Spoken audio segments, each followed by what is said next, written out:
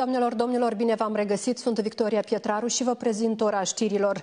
Liderul partidului polonez de guvernământ PIS, Jaroslav Kaczynski, a propus trimiterea în Ucraina unei misiuni NATO de menținere a păcii. Potrivit acestuia, misiunea trebuie să fie una înarmată, capabilă nu doar să instaureze pacea și să acorde ajutor umanitar, dar și să se poată apăra în timpul acțiunilor de pe teritoriul acestei țări. Declarația a fost făcută în timpul unui briefing la Kiev după întâlnirea președintelui Ucrainei Volodymyr Zelensky cu prim-ministrii Cehiei, Poloniei și Sloveniei. Iaroslav Kaczynski, precum și prim-ministrii Poloniei, Republicii Cehe și Sloveniei, au mers la Kiev în calitate de reprezentanți ai Consiliului European. Scopul vizitei, potrivit PAP, agenția de presă a statului polonez, a fost acela de a confirma sprijinul fără echivoc al întregii Uniuni Europene pentru independența Ucrainei, precum și de a oferi un pachet amplu de măsuri de sprijinire a statului și cetățenilor Ucrainei. Prim-ministrii celor trei țări au trecut granița polono-ucraineană cu trenul. Tot situația din Ucraina este motivul pentru care secretarul general al NATO a convocat un summit de urgență al liderilor alianței. Întrunirea va avea loc la Bruxelles pe 24 martie. Vom aborda invazia Ucrainei de către Rusia, sprijinul nostru puternic pentru Ucraina și întărirea apărării NATO, a scris Jan Stoltenberg pe Twitter. Casa Albă a anunțat că la întrunirea extraordinară al liderilor NATO va participa și președintele SUA, Joe Biden, care, potrivit mesajului, intenționează să discute despre eforturile de descurajare și apărare ca răspuns la acțiunile Moscovei. Potrivit Reuters, din 24 februarie, adică de la începutul acțiunilor militare în Ucraina, aliații NATO au trimis Kievului peste 20.000 de arme antitank și alt arsenal. Reuters îl citează pe ministrul apărării al țărilor de jos, care le-a declarat jurnaliștilor că statele NATO vor continua să furnizeze arme Ucrainei, chiar dacă aceste provizii ar putea fi ținta atacurilor rusești. În ceea ce privește ideea de a trimite trupe de menținere a păcii NATO în Ucraina, ministrul apărării al țărilor de jos consideră că este prea devreme să vorbim despre asta, deoarece acolo se desfășoară operațiuni militare. Între timp, în Italia s-a declanșat un scandal regional. Potrivit Asociației Sindicatelor din Toscana, citată de presa locală, angajații aeroportului Galileo Galilei din Pisa au gătit diverse tipuri de arme, muniție și explozibili în cutii cu ajutor umanitar destinat Ucrainei. Potrivit sursei, încărcătura trebuia să zboare în Polonia către bazele SUA și NATO, iar de acolo să fie livrată pe uscat în Ucraina. Muncitorii au refuzat să transporte în sălotul. Filiala sindicală din Pisa a cerut structurilor de control aeroportuare să blocheze imediat astfel de zboruri cu ajutor umanitar deghizat și le-a solicitat cetățenilor să iasă sâmbătă 19 martie la un meeting de protest sub sloganul Din Toscana, poduri de pace, nu zboruri de război. Președintele Ucrainei, Volodymyr Zelensky, într-o adresare video, a anunțat că în data de 15 martie, în teatrul de război, a fost ucis încă un general rus, fără să-i pronunțe numele. În aceeași zi, însă, canalele de Telegram au scris că este vorba de generalul major Oleg Mitiaev, dar nicio sursă oficială din Ucraina, nici Ministerul Rus al Apărării nu au confirmat deocamdată informația. La rândul lor, surse rusești, referindu-se la canalul de Telegram al comandantului batalionului Azov, Andrei Bilețchi, au raportat moartea la Mariupol la unuia dintre ideologii unității militare, Nicolae Kravchenko. Cu toate acestea, autoritățile ucrainene nu au confirmat încă oficial informația și nici Ministerul Rus al Apărării nu a comentat deocamdată acest lucru. Statul major al forțelor armate ale Ucrainei a raportat că în anumite zone de luptă, armata ucraineană a lansat o contraofensivă și a distrus trei avioane rusești, inclusiv două bombardiere Su-34, un elicopter și trei drone. Iar Ministerul Rus al Apărării a anunțat la un briefing despre despre nimicirea două avioane ucrainene Su-25 în regiunea Cernigov, un MiG-29 în regiunea Novaia Bâcovca, precum și doborârea a patru drone. Fondul Monetar Internațional consideră că situația din Ucraina reprezintă o lovitură gravă pentru economia globală, îi va încetini creșterea, va duce la majorarea prețurilor în întreaga lume, va stimula inflația și ar putea schimba fundamental ordinea economică globală pe termen lung. Oficialii FMI au declarat deja că se așteaptă să reducă previziunile anterioare ale fondului privind o creștere economică globală de 4,4% în 2022. Cel mai probabil vor fi revizuite în jos și prognozele de creștere regională. Previziunile actualizate ale FMI ar urma să fie publicate în data de 19 aprilie. Negocierile dintre Rusia și Ucraina vor continua și astăzi. Despre acest lucru a anunțat consilierul prezidențial din Ucraina, Mihail Podoleac, pe contul său de Twitter.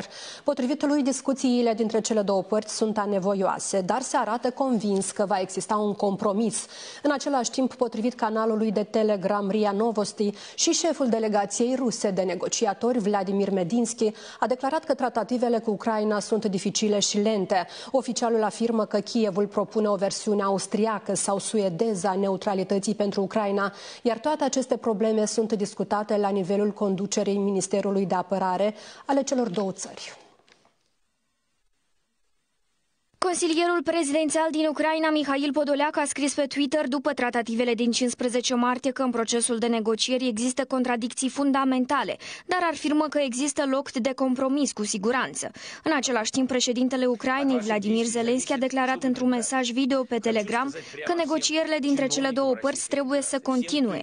Este dificil, dar important, a menționat acesta. Pe canalul de Twitter al Radei Supreme a Ucrainei se spune că și șeful adjunct al Cancelariei Prezidențiale Ucrainei ucrainene Igor Jovka a precizat că tratativele dintre cele două părți au devenit mai constructive, iar potrivit lui reprezentanții ei Rusiei au început deja să asculte poziția ucraineană. Și partea rusă a venit cu reacții la subiect. Potrivit canalului de telegram al RIA Novosti, șeful delegației Rusiei de negocieri, Vladimir Medensky, a declarat că discuțiile ruso-ucrainene decurg lent și dificil. Potrivit lui, Ucraina propune o versiune austriacă sau suedeză a unui stat demilitarizat neutru, dar în același timp un stat cu armată și flotă proprie, iar toate aceste probleme sunt discutate la nivelul conducerii ministerelor de apărare ale Rusiei și Ucrainei. Aceeași sursă scrie că Medinsky a mai declarat că scopul Rusiei în negocierile cu Ucraina nu s-au schimbat. Avem nevoie de o Ucraina pașnică, liberă, neutră și independentă. Vrem ca acordul să fie pe generații, ca și copiii noștri să trăiască în pace, se mai spune în declarația oficialului rus. La scurt timp, șeful delegației ucrainene Mihail Podoleac a reacționat la declarațiile lui Vladimir Medinsky privind modelul austriac sau suedez de neutralitate al Ucrainei. Pe contul său de telegram, acesta a scris că în condițiile actuale, când Ucraina se află în război cu Rusia, poate fi discutat doar un model ucrainean de neutralitate, care să presupună garanții de securitate pentru statul vecin. El a mai menționat că țara sa nu a fost niciodată un stat militar care să atace sau să plănuiască atacul asupra vecinilor. Într-un interviu pentru RBK.ru, ministrul de externe al Rusiei, Sergei Lavrov, a declarat că negociatorii Rusiei și Ucrainei trebuie să discute problemele cu calm. Tot el a afirmat că există o oarecare speranță ca în negocierile dintre cele două părți să fie un compromis. Statutul de neutralitate este acum în general discutat serios împreună, desigur cu garanțiile de securitate. Acolo există formulări absolut specifice care, în opinia mea, sunt aproape de acord. Până acum, reprezentanții Ucrainei și Rusiei și-au dat întâlnire de 5 ori. Săptămâna curentă au avut loc negocieri la Ankara dintre ministrii de externe ale celor două țări, Dumitru Kuleba și Sergei Lavrov. În prezent, negocierile au loc prin videoconferență, iar în pauze discuțiile continuă la nivelul subgrupurilor de lucru.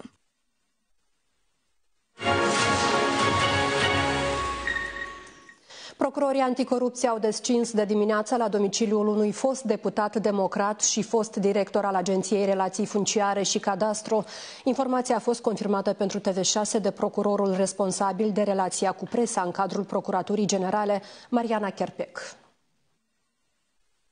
Respectiv la moment percheziție la trei imobile și un automobil al acestuia. După terminarea acțiunilor de urmărire penală planificată, vom reveni cu informații actualizate. Potrivit ei, acesta are statut de învinuit într-un dosar penal pornit pentru îmbogățire ilicită. Amintim că Anatolie Ghilaș a fost demis din funcția de director al Agenției Relații Funciare și Cadastru de guvernul Sandu. În luna iunie 2020, acesta a revenit la conducerea agenției, însă a demisionat anul trecut, în luna iulie. Influencerul Alexandru Armaș rămâne în arest preventiv pentru încă 30 de zile în penitenciarul 13. Decizia a fost luată marți de magistrații Curții de Apel Chișinău, care au respins contestația avocatului acestuia. Procesul acestuia continuă la judecătoria Chișinău, la care astăzi va avea loc o nouă ședință în dosarul lui Armaș, cercetat penal pentru huliganism după ce a agresat un tânăr de 30 de ani, care în urma loviturilor primite a fost internat în stare gravă. Imediat după incident, Armaș și a fost lăsat de poliție în libertate, dar a fost reținut după ce imaginile cu bătaie au ajuns în presă și pe rețelele de socializare. Avocatul lui Armaș spune că, de fapt, conflictul între clientul său și victima ar fi apărut după ce tânărul bănuit i-ar fi jignit părinții. Potrivit lui, Armaș era inconștient în acel moment, regretă cele întâmplate și cooperează cu ancheta.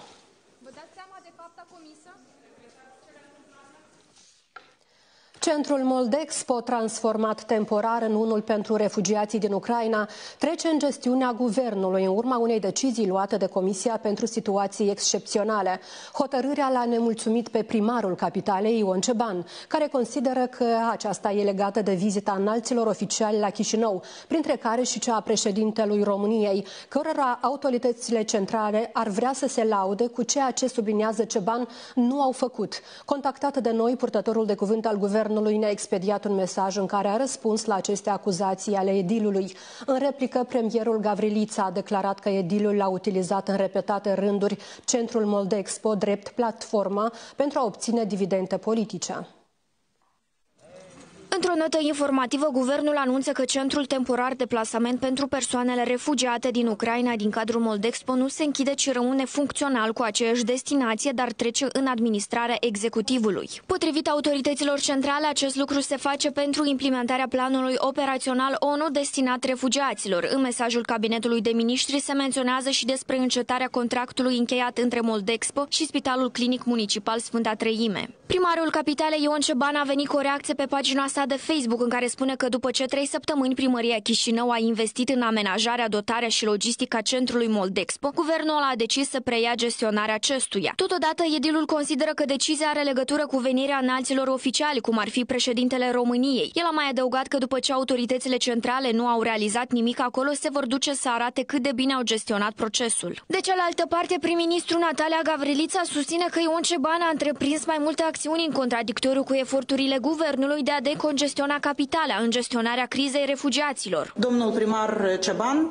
a utilizat uh, nevoia familiilor și copiilor care fug de război pentru a uh, obține anumite dividende politice. Transportul uh, primăriei a uh, transportat uh, refugiați către centrul Moldexpo sau către cetățeni, fără a trece prin procedura centralizată de triere uh, și astfel se crea un, o problemă artificială pe care tot domnul Ceban uh, toată noaptea o rezolvat. La centrul Moldexpo sunt cazate în jur de 600 de persoane refugiate din Ucraina. Moldova și Ucraina s-au racordat la sistemul energetic european. Despre aceasta se spune într-un mesaj postat pe canalul de Telegram Prima Sursă. Tot acolo se menționează că cele două țări au încheiat procesul de sincronizare la rețeaua europeană de energie electrică. Între 24 și 26 februarie, țara noastră și Ucraina s-au deconectat de la sistemul energetic ruso-belarus și au funcționat în regim izolat pentru 72 de ore. Perioada a fost una de testare și urma să fie reluată în vară, dar din cauza războiului, statul vecin a renunțat definitiv la curentul rusesc. Prin urmare, de atunci și până acum, Moldova, care se alimenta prin rețelele ucrainene, s-a bazat pe resursele interne.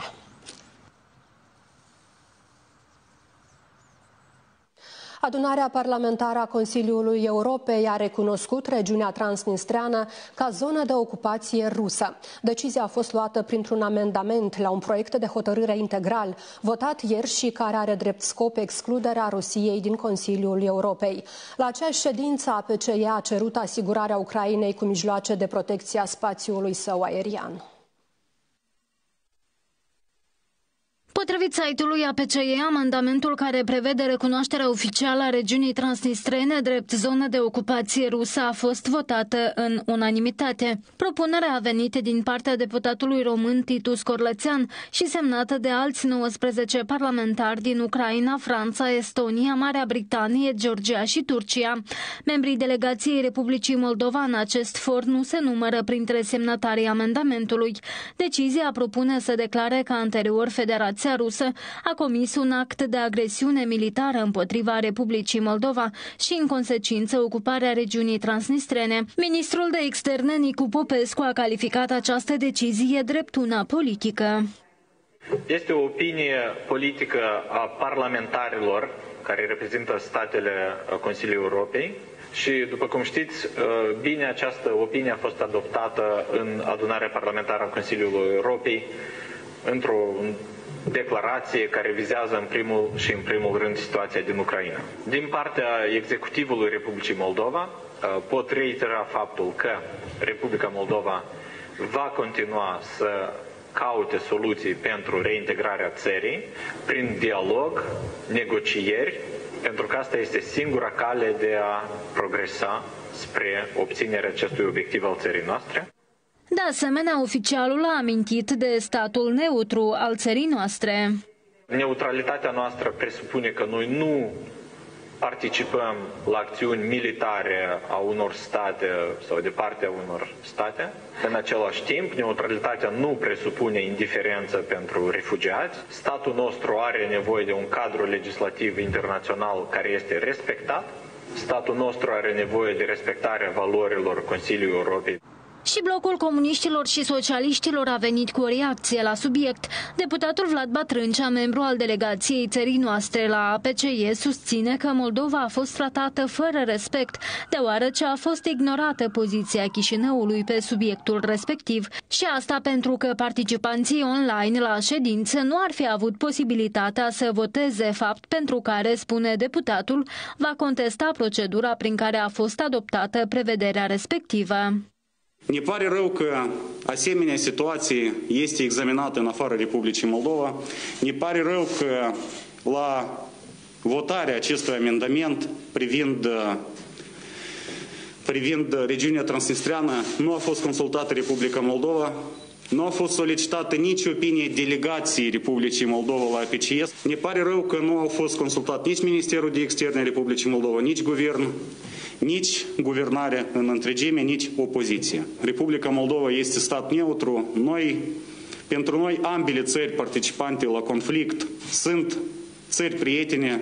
Este o încercare de a atrage Republica Moldova în acest conflict. Batrâncea a mai spus că inițiativa APCE reprezintă o opinie politică și poartă caracter de recomandare. Nu este un act juridic și nu produce efecte juridice. Faptul că membrii delegației țării noastre la APCE nu au putut vota amendamentul ce se referă la regiunea transnistreană a fost confirmat pe Facebook și de membru delegat din partea PAS, deputatul Natalia Davidovici. Nu am putut participa la vot din cauza unor probleme tehnice, deoarece delegația Delegația noastră a fost prezentă la sesiunea extraordinară a APCE în format online.